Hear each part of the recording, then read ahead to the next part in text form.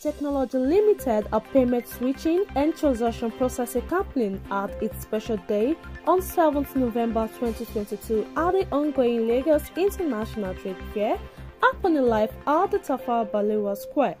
Speaking in an interview section, the Marketing and Product Development Manager Chike Nwazuzu described the digital economy space becoming a reality which has come to take its place in the digital world which according to him will be taken over in a short while. Well, um, CBN continues to drive uh, financial inclusion, which CoralPay is uh, a major part of in, in that drive uh, through our C'Gate.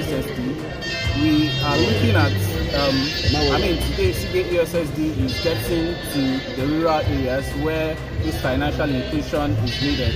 So as we make progress, in a very short time, maybe in a couple of years, we will see digital uh, digitization of and digitalization of, of, of the financial space and ecosystem.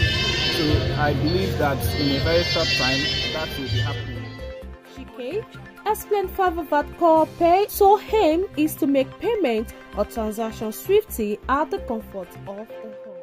Okay, um, today CoralPay has a solution called the C'Gate USSD that enables you to make payments on POS or on web using your your uh, USSD um, uh, infrastructure on your phone, right?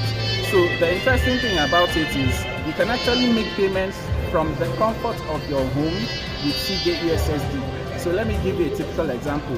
If I send someone to a shop to buy something if they decide to use C'Gate USSD to make payments on the POS, all they need to do is to send me the code that the, that the POS has generated for them, and I will dial it from the comfort of my home, and that payment is made.